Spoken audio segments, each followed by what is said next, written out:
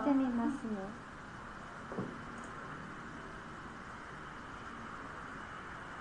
すごい綺麗 広く感じますよねうんうんどうしたんだろうああ今大丈夫ですはい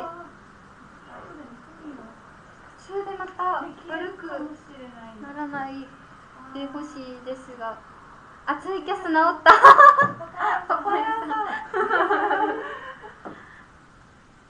ではお願いします。はい。午後のロータス始まります。あ早い。早いですね。あっとい。う間に危ない。危ない。今日はあっという間に終わりそうな感じそうですねうまく喋れるかな。なんか久々なので。2週間。ですよねだいぶ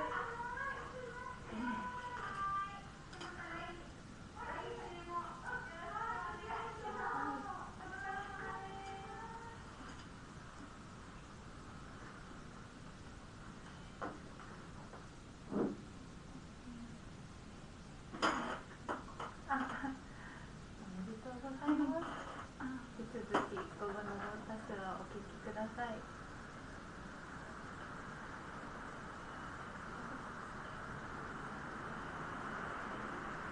機材も本調子じゃないんですね。もっと休みたいんですね。まだまだお休み気分かもしれない。なんかまなみさんが遠くから寄っていそう。距離感。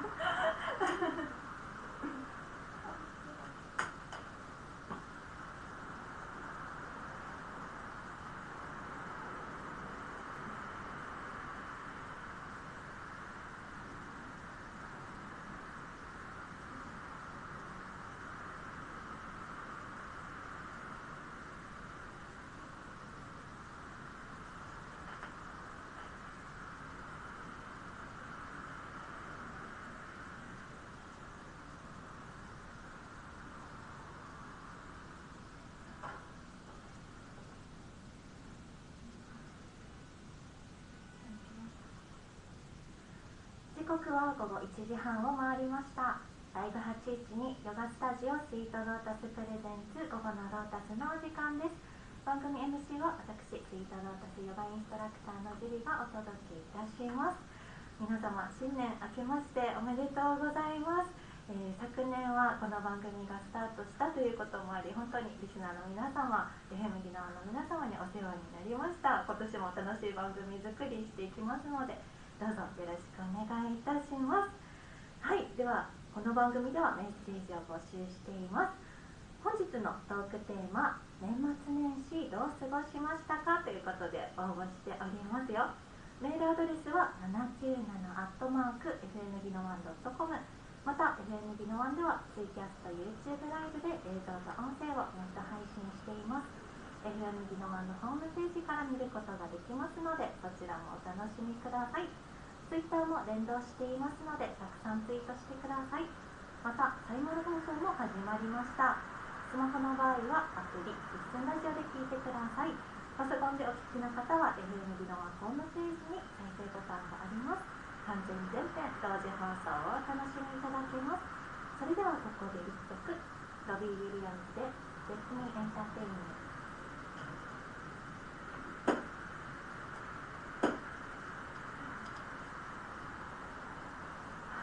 緊張しました。久々の放送で。皆さん、あの年末のフィギュアスケート全日本選手権は見ましたでしょうか？あの私羽生結弦選手のファンなんですけれども、あの5年ぶりの優勝ということで圧巻の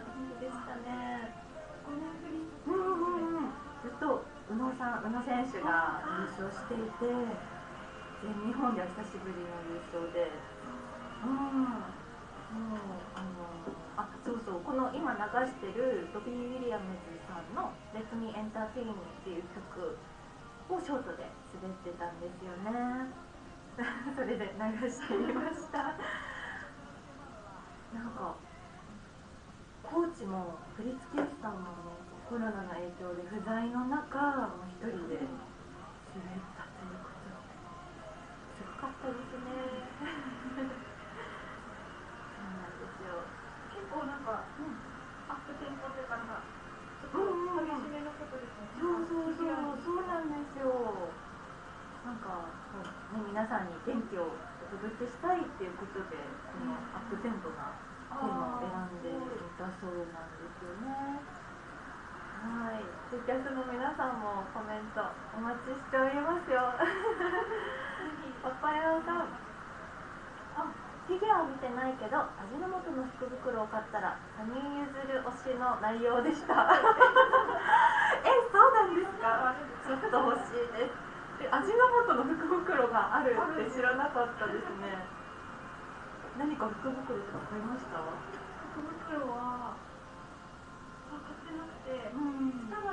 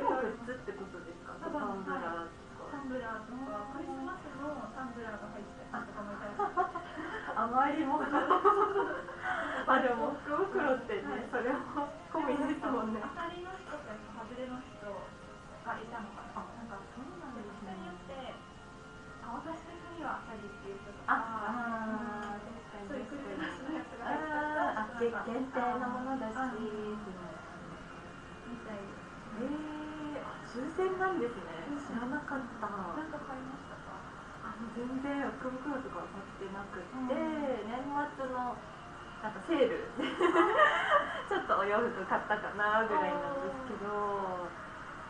あ、日本系の店で売ってるから多分ライカムでも売ってるはず。本当ですか？えライカムのそのスーパーってことですか？ね。ね。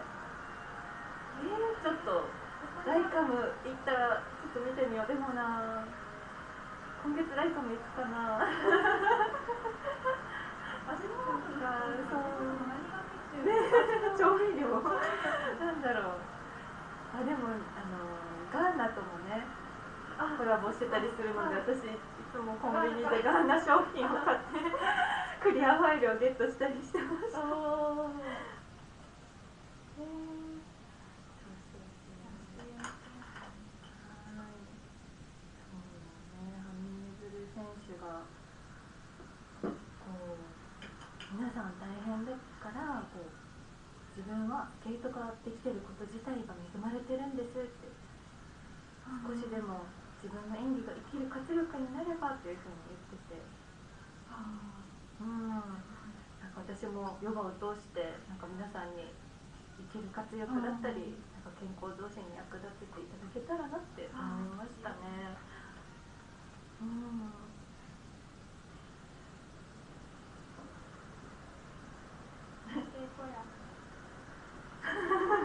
ね、なんかコメント力がすごいですよね。あと演技に込める思いだったり。うん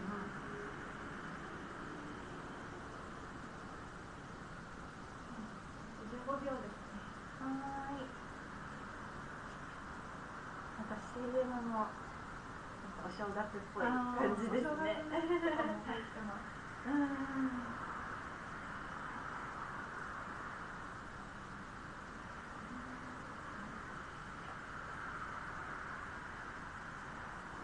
時刻は7時37分を回っております。はい。はい、ここのロータス、はい。うん、初めてですね。はい、よろしくお願いいたします。えー今日のトークテーマ、年末年始どう過ごしたということでお送りしておりますが、その前にですね、あの今年の1月1日元旦の初日の出ヨガのお話を少しさせていただけたらなと思っております。あの ANA スポーツパーク浦添さんとあのヨヨガスタジオスイートロータスの共同企画で初日の出ヨガを開催いたしましたもうとってもあのたくさんの方にご参加いただけてもう大成功のイベントだったんですけれども来てくださった皆さんありがとうございました。えー、ただですねこう前日ちょっとね雨降ったりとかしていてこう芝生の方がぬかるんでてしまったのでこう残念ながらこう外での開催は難しくって屋内運動場での開催となったんですけれども、うん、うんうんなんとかねあの窓の外から差し込む初日の出に向かって皆さんで太陽で、はい、太陽を拝みながらヨガすることができてとっても素敵な時間でした。あうん、よかったですね。はい。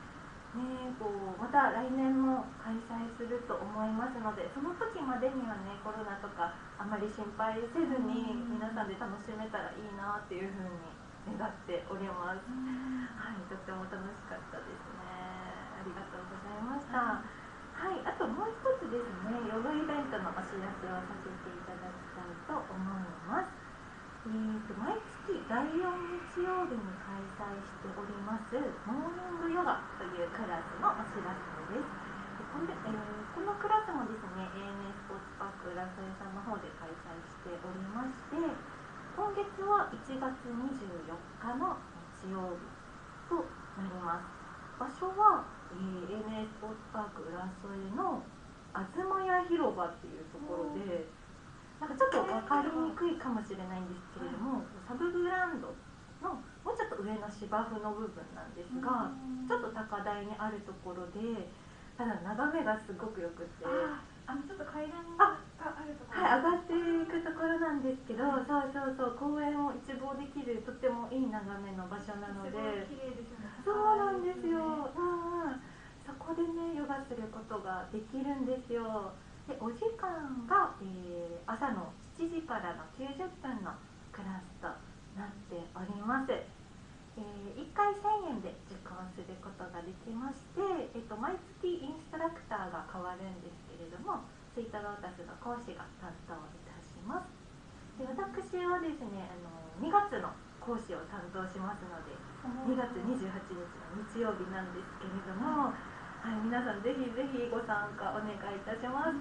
残り3回となってまして、1月の24日、2月の28日、3月の28日っていうふうに残り3回なので、皆様、夜初めてですよっていう方でもあの楽しんでいただけるようにレッスンしていきたいなと思っておりますので、よろしくお願いいたします。はい、えっと、申し込みはですね、えーと ANA スポーツパーク浦添の運営管理事務所までご連絡をお願いいたします。お電話番号は098-876-7322 098-876-7322となっております。はい、はい、よろしくお願いいたします。今年も早速いろいろイベントそうなんですよ。いろんなね、あの今年はタジオ内だけでなくて、はい、市民クラスだったりっていう行政ともねたくさんコラボしてあの皆さんの街に行けたらなって思っておりますので、よろしくお願いいたします。うんうん、初めての方でも、はい、もうぜひ参加していただきたいので、まあ、一緒にヨガを楽しみましょう。はい、それでは、はい、テーマの方に移っていきたいなと思います。今日は年末年始のそうなんですよ。まなみさんはどうでしたか？私今年はお正月で正月で。すごい三十一日に結構もう今年やるやり残したことを全部あの年越さないようにと思って三十一日に結構詰めて。三十一日のもう終わりらへんに結構ヘトヘトになってみて。どんなことしたんですかなんかいろいろ郵便物出したりとか買い物行ったりとかああそうですねお正月準備感じ持ってやってで紅白見て、うん、で朝でまた寝て、うん、で起きてまた寝てあ今年はやっぱりお正月周りも行けなかったので、うん、家でゆっくりなんか。うんうんうん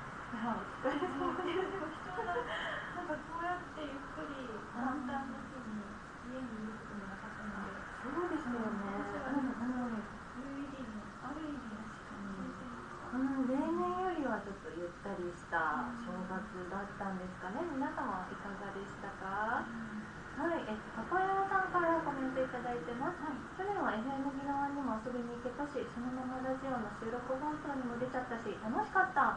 そうなんですよ。そうなんですね年末にいらしててああ。その時ちょうど収録していた番組にそのまま参加して。うん あそんなこともあったんですね。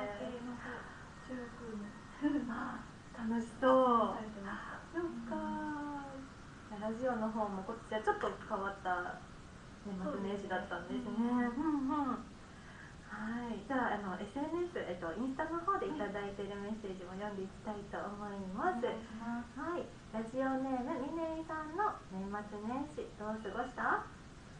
お腹の限界が来るまで暴飲暴食の日々。年末年始美味しいものが多すぎる。これではねあの本当にもう大きくうなずきます。共感ですね、そうそうお正月特に美味しいものがたくさんねある感じがどこ行ってもごちそう 出していただけるので私もなんとかこう満腹までは食べないようにってコントロールしてたんですけどなんて言うんでしょうもうずーっと食べてた気がします。一日三食どころじゃない。みたいなもうじゃあ食欲が止まらなかったなのでこの1月中にね胃の調子をあの回復させて体調整えたいなっていうそれがね早急な課題です。パパ屋さんも一番最初1500ねあっという間にね増えちゃいますよね。体重ね。そうびっくりしちゃう。はいではあと一つはい紹介しますね。はい。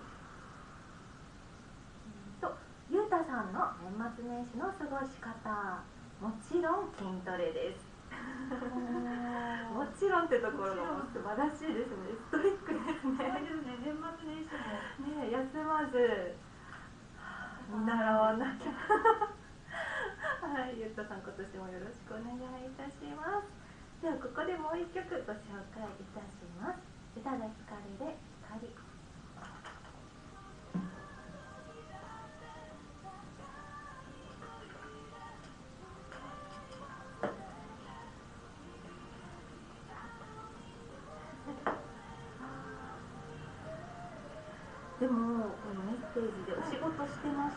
っていう方も多くってラジオネームゆたかさんと松彦さん年末年始もお仕事だったみたいです。お疲れ様で。す今日あたりお休みですかねどうだろう。お正月終わってようやく一息で。うん。いらっしゃいますよねそうかあの世話しない中お仕事するの大変ですよねうんお正月の時とかこそが書き入れ時みたいな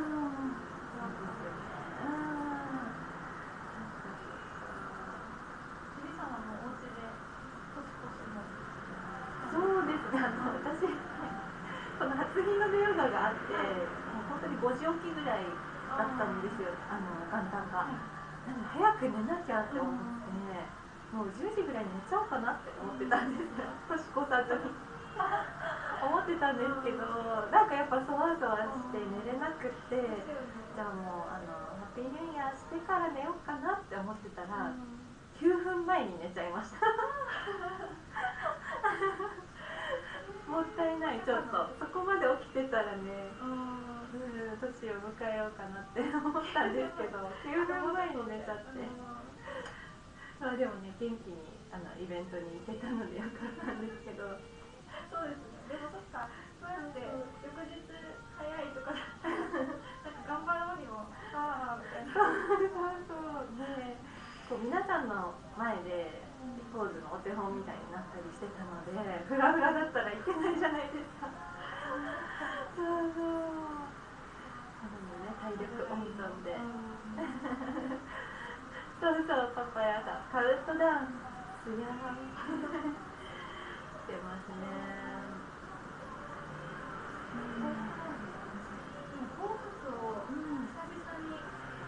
んと見まし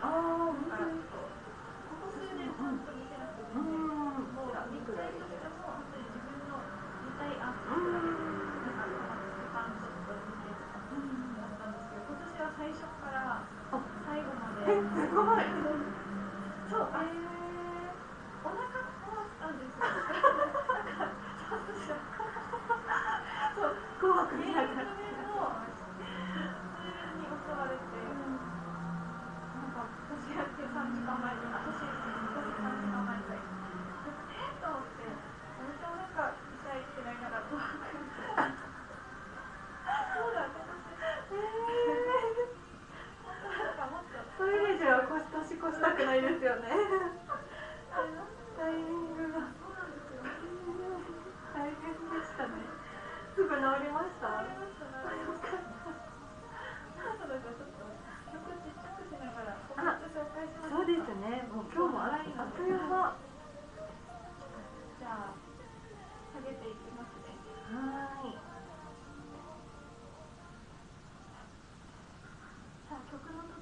が、ね、メッセージがたくさん来ておりますので、紹介してもらおうと思います。はーい。今日のテーマ年末年始どう過ごしましたかということです。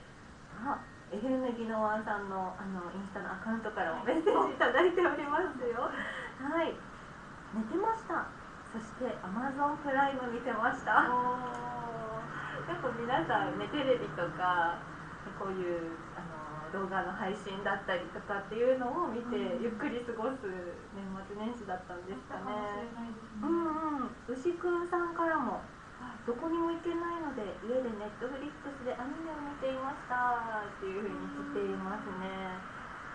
そっか私はネットフリックスと Hulu を登録してるんですけど Amazon プライムもちょっと気になりますね。なんか Amazon プライムならではの種類がなんかうん動画のなんだバリエーションラップとかうんうん。あとなんか安いイメージあるので Amazon プライム。乗り換えようかな。どうしよう。私も年末年始もアニメをね一気にして過ごしましたよ。はあそうなんですね。い。一気にとかにでも最適なそうそう外寒いしみたいな。沖縄結構寒かったんでね年末特に冷えましたよね。そうそうそうやってダラダラ過ごすのも良かったですね、うん。ありですね、はい。ラジオネームチョコミントさんからも年末年始は暴飲暴食ゲーム爆睡というふうにメッセージいただいておりますぱりみんなおうち時間を過ごしたんだな。まあね、まあ、ちょっと暴飲暴食しちゃうと思うんですけれども、年末年始ぐらいはちょっと自分を甘やかしてですね、これから頑張りましょう皆さん、運動だったりあのちょっと野菜中心のね食事に切り替えるとかちょっとずつ意識していきましょうまだちょっと甘やかしてる感じでグラデーションでね徐々に徐々にグラデーション急には無理ですよゆるくいきますはい。はい、ラジオネームラリオさんの年末年始の過ごし方。おせち作りに挑戦しました。栗きんとん美味しいってことです。せちとか作りますか手作りで。いやー私は本格的にはうーん。うんうん。私もこうなんて言うんでしょう沖縄のお料理あの中身汁だったりとか、であとおせちって言ってもなんでしょうメジャーな煮物だったり黒豆だったりとかなんかそういうものあるんですけどもうあのなんだろう細々としたものをちゃんと揃えるっていうのはやったことなくって。でも、うん、あそうそう伊達巻きとか酢の物とかも。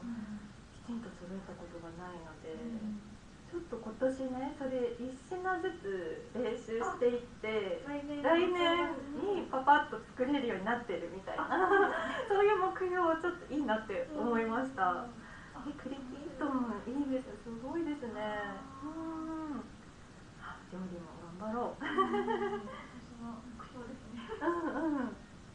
いいですねはやさん。からはうん。おせちの代わりにケンタッキーお重食べましただから減らないのかケンタッキーねクリスマスからあの年越しにかけてね食べたくなりますよね美味しいですそっかさん。が美味しいものをたくさん。食べたっていうのがすごい伝わってきました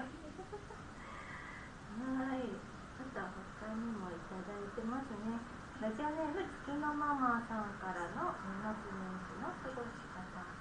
自宅でいつもは買うのを躊躇するコンビニスイーツを食べました。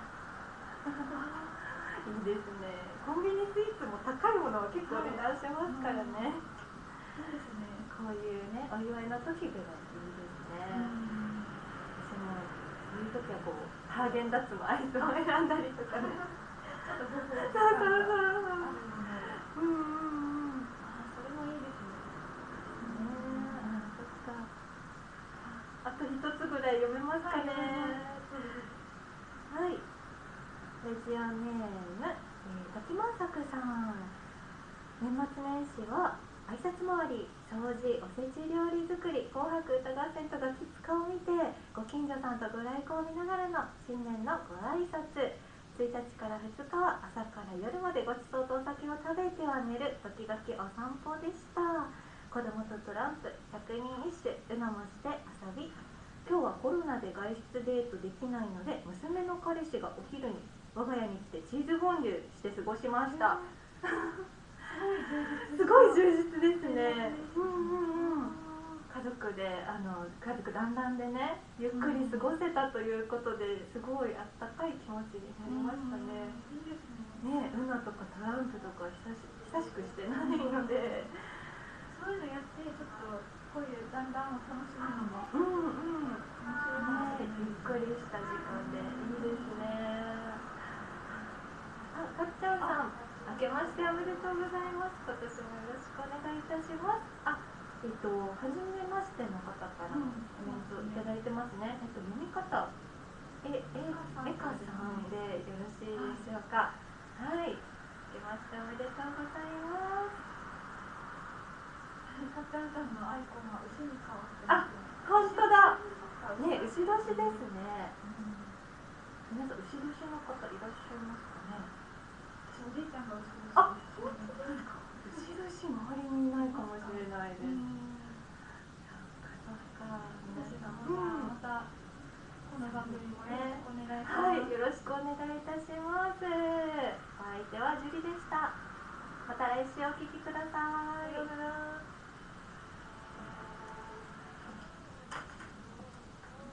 かっちゃんさん最後の最後にいや、ありがとうございます。ありがとうございます今年もよろしくお願いします。皆さん。え、なんかすごく熱くなってきましたね。ねなんかなんかうん、こちらに見たくなる。